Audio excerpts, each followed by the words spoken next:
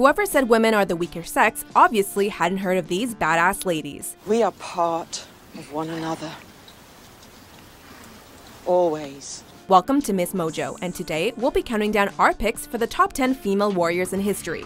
For this list, we're looking at women in history who were key players in battles. They might not have physically gone into combat, though a lot of them did, but they were at least great military leaders or strategists. We won't be including female warriors from legends, like Mulan, but only warriors who appear in actual historical texts.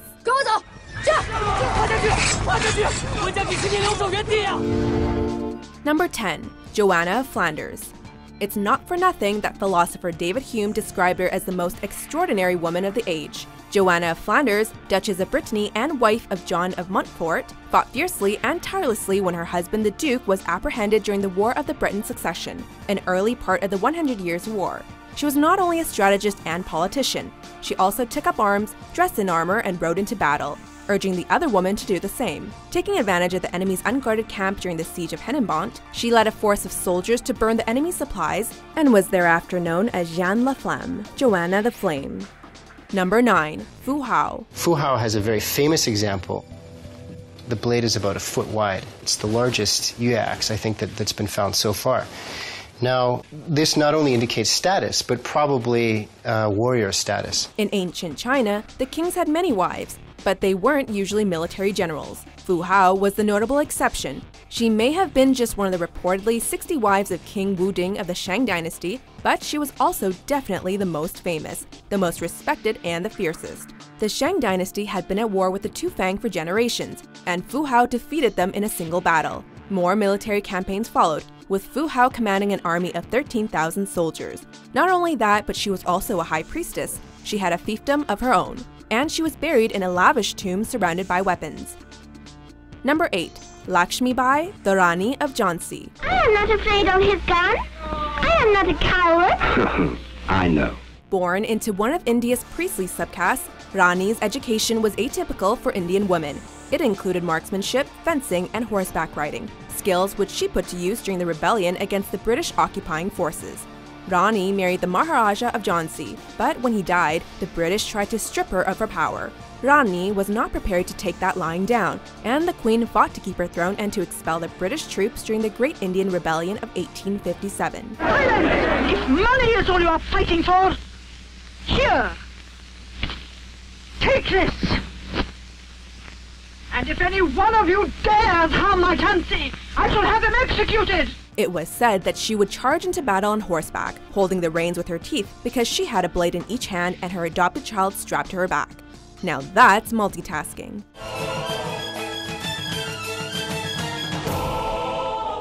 Number 7. The Trung Sisters.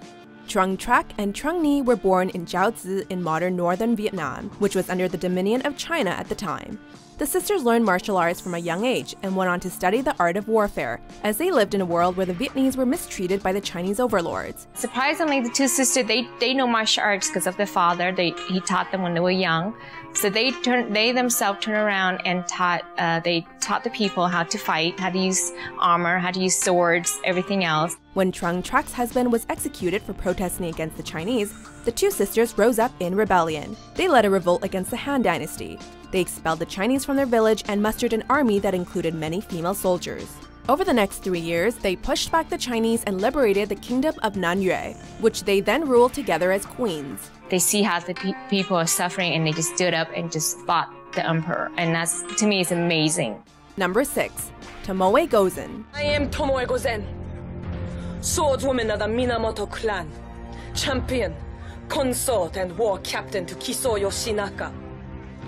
I bow to no man. In feudal Japan, it was actually quite common for women to be trained in martial arts. Most of these women, however, practiced only defensive fighting.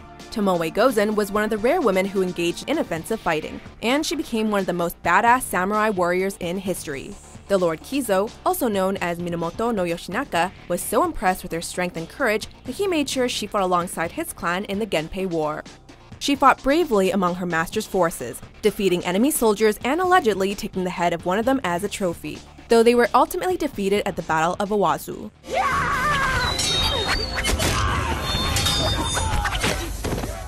Number 5. Tamar of Georgia. Known as Tamara the Great, she ruled as Queen of Georgia at the peak of its golden age. Tamara was the first woman to rule Georgia in her own right, rather than as consort or regent. Think that was easy? Once her father, the king, died, she had to fight to maintain her power. Using her enormous army and her sneaky politics, she defeated everyone who opposed her rule and replaced them with people loyal to her. As queen, she continued to rely heavily on her military, using her powerful army to consolidate and expand the empire. Under Tamar's command, the Georgian army remained undefeated in battle for multiple years. Number 4. Artemisia I of Caria.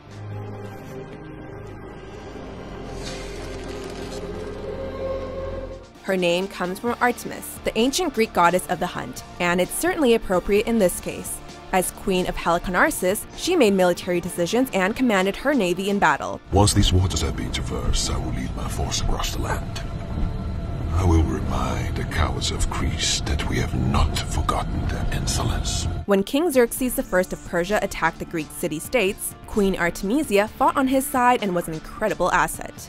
She was the only naval commander to advise him against the Battle of Salamis, a sea battle which was a colossal fail, and she has been praised for her leadership and quick thinking when the navy was forced to retreat. Her bravery astounded the men, and King Xerxes made sure to heed her advice in future endeavors. Which is more than I can say for any of you. Do you gentlemen find my command unreasonable? Is it too much to ask for victory? Number 3. Boudica. Your people and mine have have wasted too many years fighting amongst ourselves. We have a real enemy now. In a time when the British Isles were occupied by the Roman Empire, Boudica's husband was king of a small tribe. When he died, he left his kingdom jointly to his daughters and the Roman emperor. But the will was ignored, and his family was assaulted. Furious, Boudica roused the local tribes and led a revolt. They burst out of East Anglia like a tidal wave of fire and what follows, according to the Roman historians that we have, is an orgy of psychosexual destruction. With her army of 100,000, she attacked the Roman settlements at Camulodunum, Verulamium, and Londinium, now known as London, and forced the Romans to flee. In the course of the three attacks, tens of thousands of Roman occupiers were killed, while Boudica commanded from her chariot. Although her victory was short lived, she is remembered for her bravery and cunning.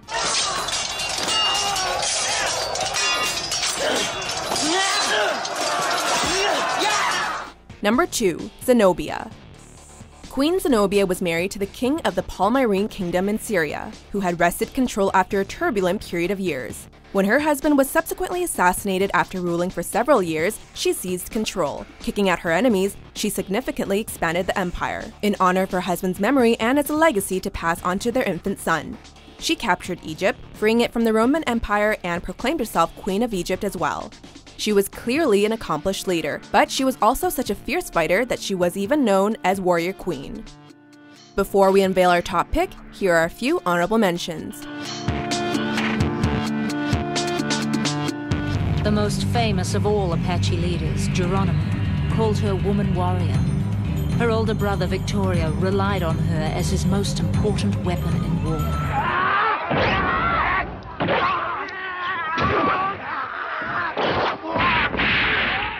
Number 1. Joan of Arc. Stop getting so angry about everything. Calm down. I am calm! It's God that's angry. Though she was only a teenager, Joan of Arc had a huge impact on the 100 Years' War. King of England, if you do not do this, I am the military leader, and wherever I find your men in France, I will make them leave, whether they want to or not. From a young age, she claimed to receive visions from God. The future King Charles VII decided to trust her divine knowledge and use it in the war he sent her to join his army, granting her permission to advise the commanding officers, wear armor, and carry weapons and a banner. The noblemen commanding the armies believed that she was receiving visions from God, so they readily accepted her military advice. Bring up the reinforcements! Reinforcements? Where?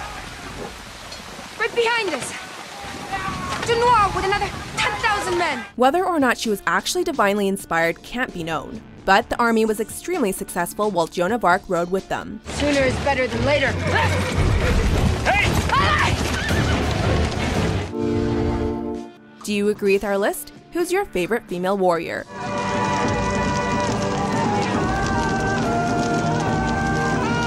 For more captivating top 10s published daily, be sure to subscribe to Ms. Mojo. Go home!